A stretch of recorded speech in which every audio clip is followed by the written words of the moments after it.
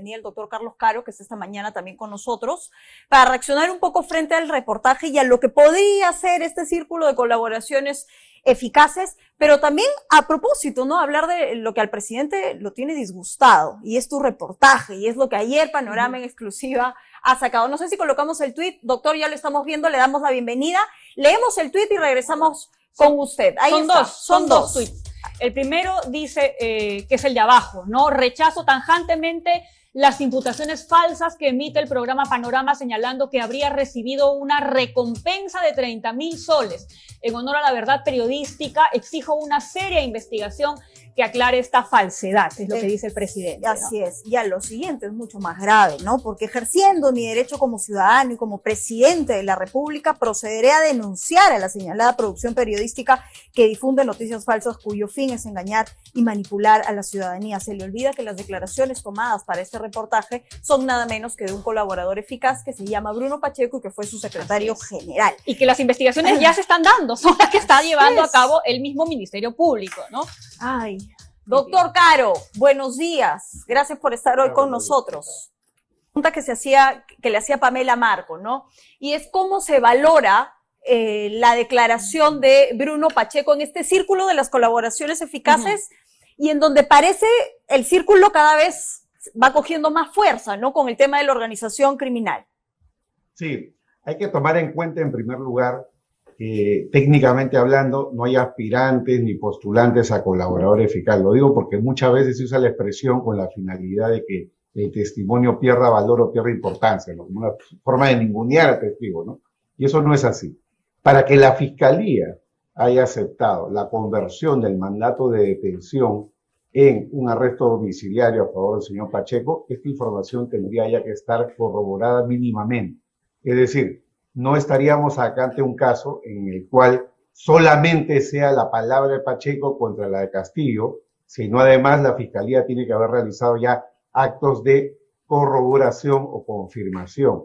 Deben haber tal vez detalles de llamadas telefónicas, comunicaciones electrónicas por WhatsApp, otros testigos, registros de visitas, etcétera. Entonces, desde mi punto de vista, no estamos ante un simple dicho ya para estar en la etapa en la que nos encontramos, es decir, con el señor Pacheco en un arresto domiciliario, es muy parecido al caso del señor Samir Villaverde. A él le tomó trabajo dos o tres meses salir de prisión para corroborar su dicho y poder confirmar la información. La fiscalía no permite que alguien que está prófugo con mandato de detención pase a la condición de arresto domiciliario así por así. por lo tanto, hay una noticia crímenes donde la Fiscalía tiene, digamos, desde mi punto de vista, un eh, trabajo muy fuerte, muy intenso, porque esto confirmaría que acá no es solamente una cuestión de negligencia, haber tomado malas decisiones, de haberse rodeado de malas personas, sino ya sería un caso claro, puro y duro de corrupción, cohecho, ¿no?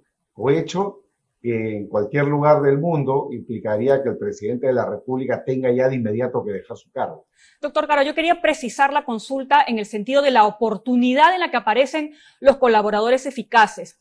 Porque si el señor Bruno Pacheco ya está diciendo, el señor Silva es el que ha dado dinero, y luego aparece Silva a decir, sí, yo he dado dinero, pero lo estaría haciendo porque ya se da cuenta de que su situación está cada vez más delicada, cada vez más precaria dentro de la propia investigación. A eso me refiero yo con eh, qué, valor o qué peso van a tener ya las próximas delaciones, ¿no? Sobre todo si tomamos en cuenta eh, cuál es la estrategia del Ministerio Público. ¿Queremos perseguir al corrompido? Por supuesto que sí, pero los corruptores también tienen que merecer algún tipo de castigo. Sin duda que sí. Bueno, en el caso del señor Silva, él tiene dentro de todo una ventaja. ¿no? Eh, siempre hay un escalón hacia arriba.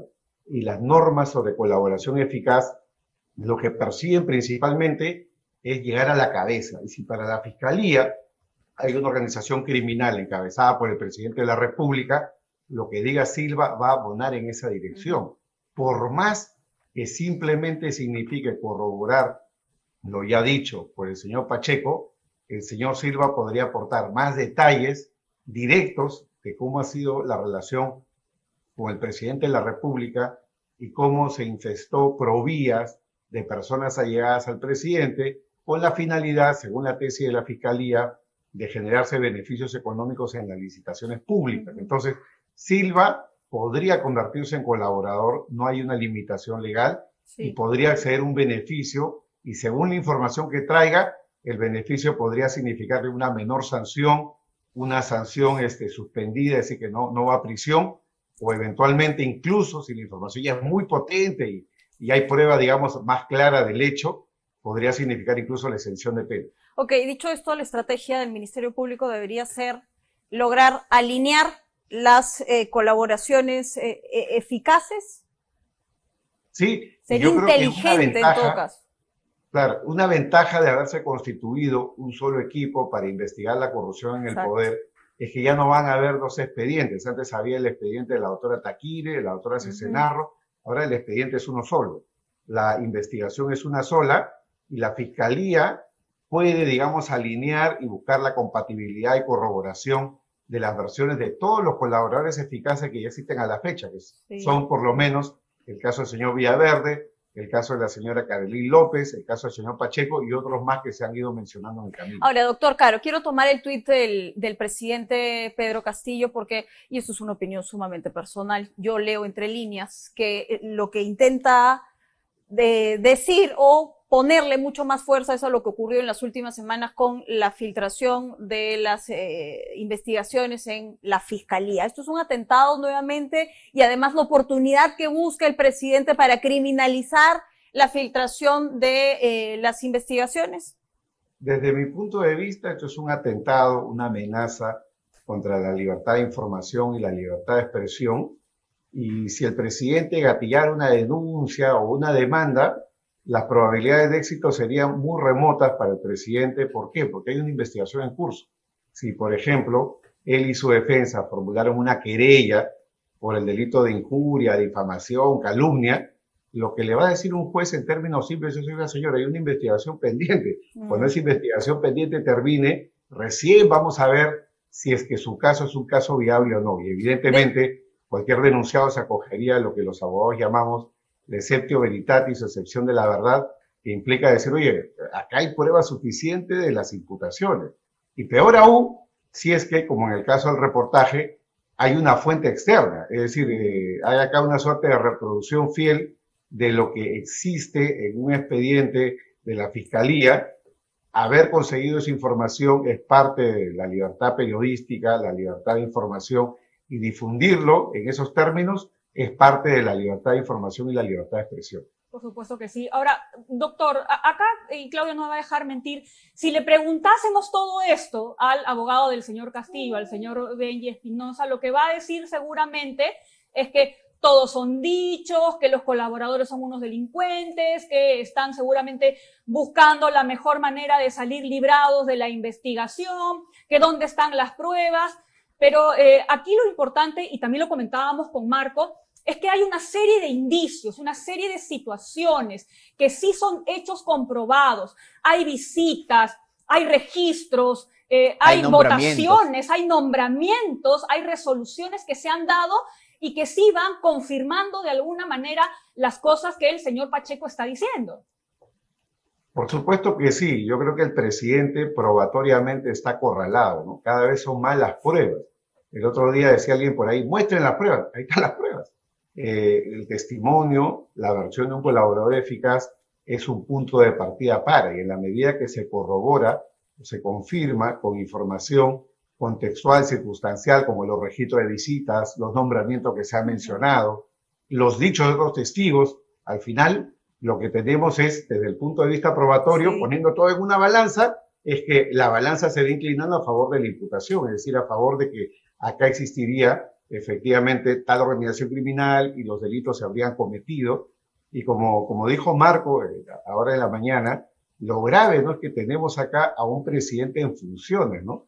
Otras veces nos hemos encontrado con presidentes, pero que ya estaban fuera del poder. Pero acá lo, lo grave, en verdad, y lo peligroso hasta este momento, es que el uso del poder que emane desde la presidencia pueda significar perturbar y entorpecer las investigaciones, ¿no? porque acá el Poder Ejecutivo maneja parte del sistema de justicia que es la policía. Y la policía es la que hace los allanamientos, hace las escuchas legales, es la que realiza actos de investigación. Y si todo eso queda en manos del presidente, su ministro del Interior y los que hayan pasado y pasarán, que han sido varios, al final lo que tenemos es que el peligro procesal es tan intenso que la única opción que cabría es buscar una salida o vía el Congreso o a través del Poder Judicial para que cesen el cargo del presidente de la República. Bueno, venimos en esa discusión hace meses, ¿no? Y hay nueva mesa directiva y nada. Yo sí quiero eh, aprovechar eh, su presencia, doctor, para preguntarle algo, ¿no? Porque el doctor Benji Espinosa insiste, y, está bien, ¿no? Si nos ajustamos al derecho, su defendido tiene toda la posibilidad de presentar el recurso que a él se le venga en gana, con la finalidad de llegar a, lo, a donde él acaba de llegar, ¿no? Que es presentar la tutela eh, de derechos. ¿Qué pasa si en la vía judicial le dicen no? Y esto es algo que yo le pregunté la última vez, ¿no? Doctor, ¿usted me parece que está haciendo uso abusivo de su derecho de acción? Porque al final sabemos cuál era el criterio de la fiscal de la nación y lo que podría pasar en sede judicial. Después de eso, ¿se le acaba el tiempo a Benji Espinosa? Sí, porque vamos a ver, para presentar una tutela, la ley exige que previamente se haya una petición al Ministerio Público como la Fiscalía denegó, Ahí está, se va al Poder Judicial y el Poder Judicial permite dos instancias a nivel de la Corte Suprema para que esto se pueda discutir. Hasta el momento no va teniendo éxito la tesis según la cual el presidente no debe ser investigado en funciones. La única alternativa que le quedaría si pierde todos los recursos a nivel de la Fiscalía y el Poder Judicial es irse a una demanda de amparo ante un juez ordinario de primera instancia y esa decisión podría llegar al cabo de seis meses, un año, al, poder, al, al Tribunal Constitucional, pero la investigación no se paraliza.